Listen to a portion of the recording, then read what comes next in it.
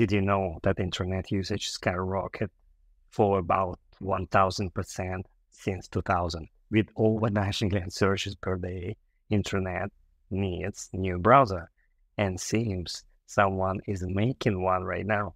In today's video, I'm going to talk about this browser and show you first look.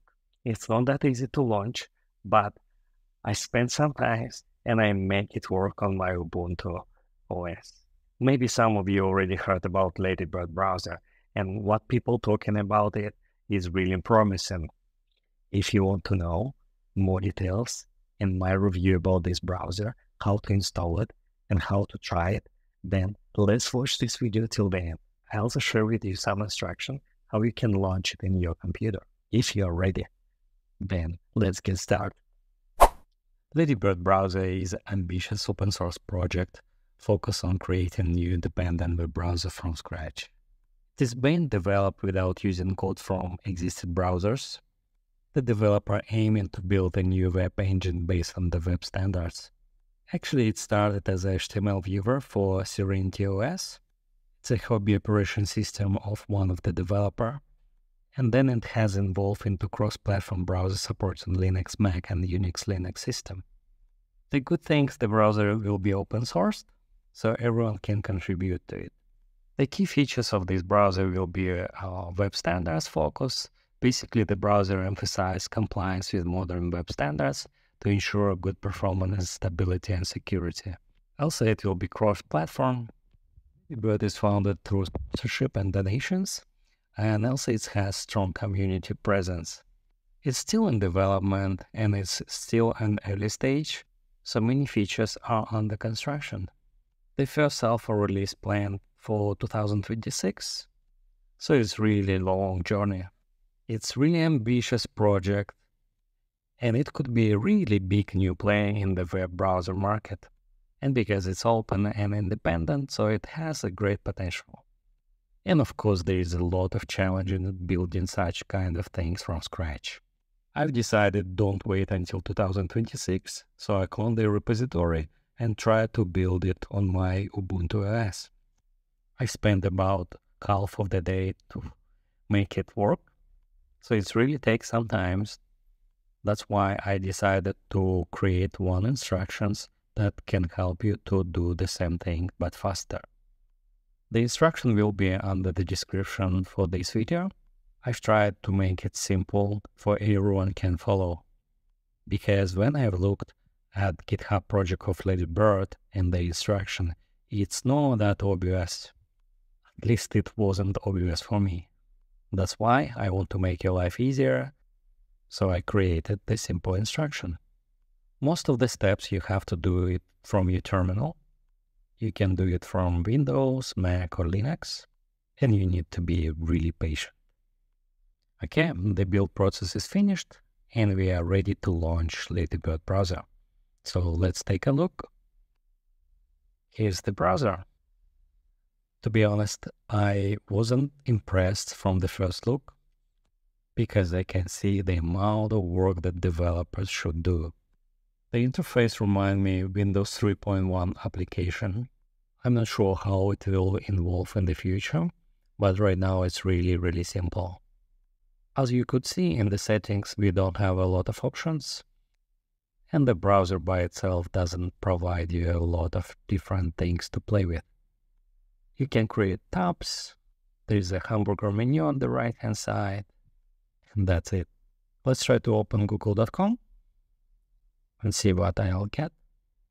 So I see the problem with the Thai language here. Let me change it into English. This is the way how Google homepage looks like. Let me try to click some links. Uh, for example, advanced search. Yeah, I'll try to go back. Unfortunately, I can go back something doesn't work. Okay, seems I'm stuck. Let me try to close this tab. I'll try to open another website from another tab. I'll open my website, proflead.dev. Let's see the result. Seems it couldn't get the right font. the font looks a little bit different. However, lazy loading and another stuff seems working fine. If you click the right button on your mouse and then click inspect, you will see the inspector. Let's see what you can do with the inspector. So there is a DOM tree, accessibility tree. There is a console log. There is a com computed style. It's really, really, really far away from Chrome, but good direction. Let me try to use console log. I will try to use window object. Seems it's return something. Let's try with document object. And seems it's also return something. It's a bit too slow on my computer. That's why it's uh, hard to use. But the render of the page seems is really okay. Seems the CSS, images, and basic tags are working fine. Let me try to make uh, take a full screenshot. Unfortunately, it doesn't do anything. Probably it's a feature for the future. It's really slow for now. Let me look at the memory usage. Let's see. Okay, uh, let me, oh my God. As you can see, I don't have available memory. Seems Lady Bird project took the most. Okay, let me try to restart the browser and see what other functionality it has. Okay, let's try to open YouTube and see if it could render the page. So it takes some time.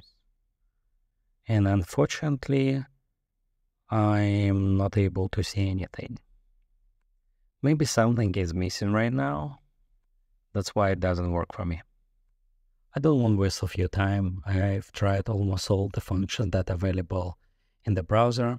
Unfortunately, it's really, really too early to give the final review, but I could tell that the developers have a lot of things to do if they really want to have the portion of the web browser market. I personally love Google Chrome, and I'm not 100% sure if I would change it, but I would definitely will look forward to see how this browser will develop further. So if you want to try it by yourself, follow the instructions under the video. That's it. I don't know if you like this browser or no. Of course, right now it it's not that amazing. However, people promise a lot. So let's see what we're going to have in the future. I hope you like this video. I hope you find it useful and informative. If you like it, please click like. If you don't like it, please click like, but don't forget to share your feedback in comments below. Thank you so much for watching this video till end. Thank you so much for your support, and I hope to see you in my next videos. Bye.